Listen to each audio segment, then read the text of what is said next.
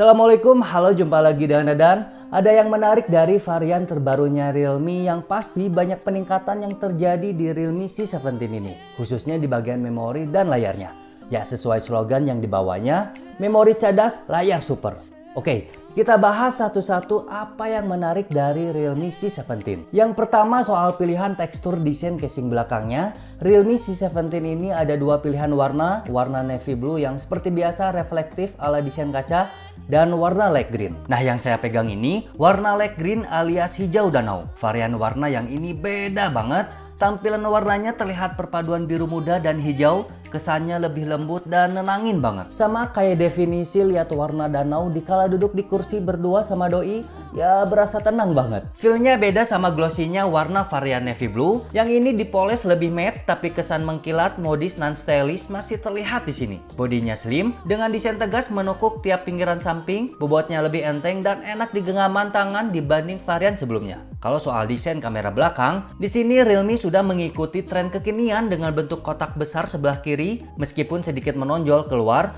pakai saja soft case bawaan bakal jadi rata seperti ini. Nah selain itu juga klaim dari Realme, semua lubang di smartphone Realme C17 sudah kedap air dengan pelindung silikon yang efektif mencegah percikan air. Beralih ke depan terhampar layar 6,5 in IPS beresolusi SD+, yang sudah diproteksi oleh Corning Gorilla Glass 3. Variansi series kali ini dibekali refresh rate layar 90Hz yang bikin visual tampilan layar lebih smooth dan nampak terlihat lebih lebar karena kamera depannya ini dibentuk punch-hole atau in-display kamera. Soal ketajaman dan warna terbilang baik, apalagi ditambah fitur eye protection atau blue light filter yang mampu menjaga kesehatan mata kita saat berlama-lama melihat layar smartphone.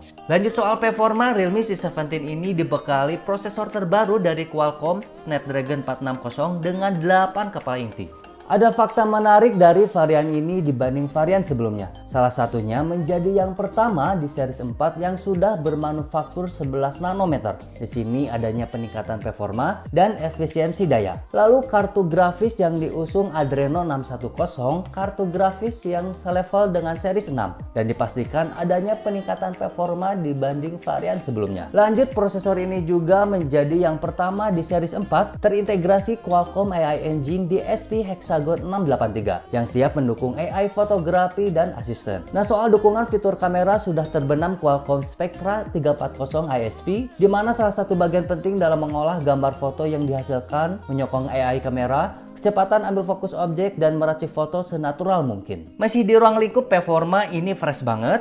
Si 17 ini punya konfigurasi memori paling jumbo di kelasnya. RAM 6GB dan ROM 256GB. Wih, gede banget. Kalau dianggap kurang, masih bisa diekspand pakai micro SD hingga 256 GB.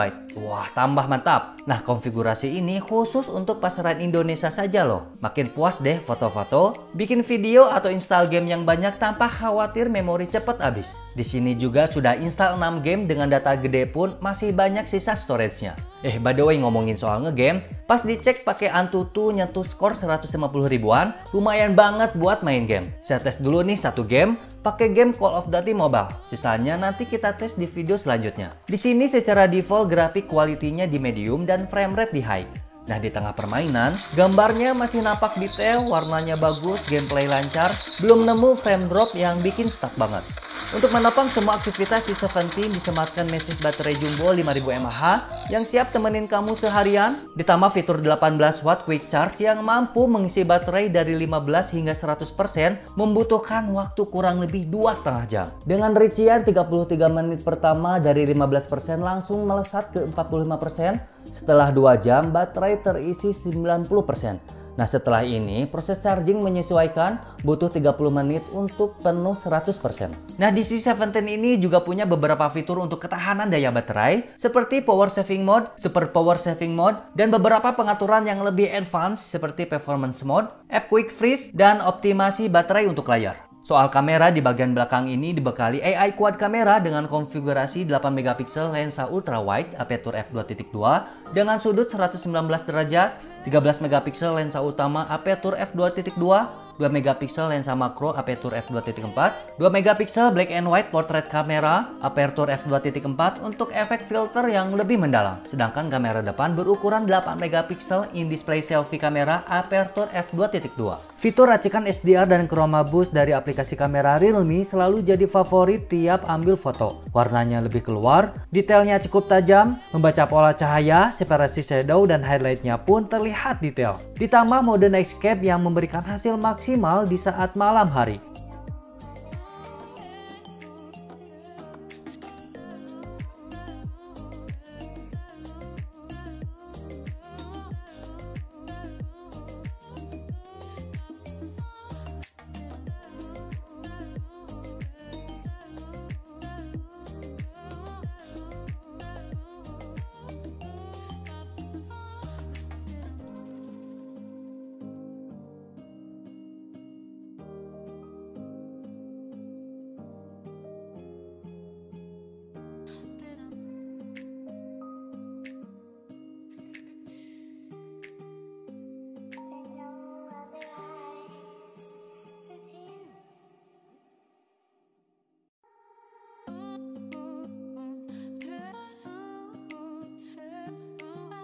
Nah untuk rekam videonya resolusi tertinggi hingga Full HD 30 fps saja.